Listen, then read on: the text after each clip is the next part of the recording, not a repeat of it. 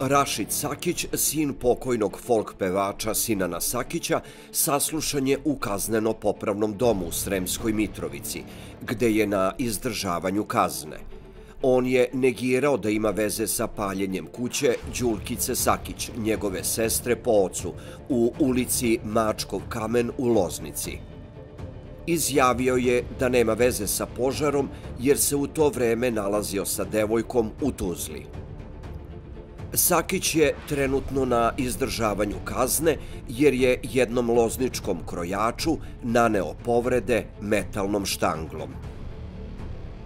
Sestra po ocu i njena majka Rašida su javno sudile za požar pre nego što je zvanično osumnjičen.